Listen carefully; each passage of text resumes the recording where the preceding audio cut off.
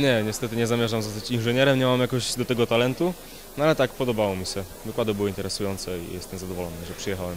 Ten wykład na temat szkodliwości y, urządzeń elektronicznych. Wykłady były bardzo interesujące, było kilka nagród, y, które można było dostać. Fajnie było. Zamierzam zostać inżynierem po zdaniu technikum.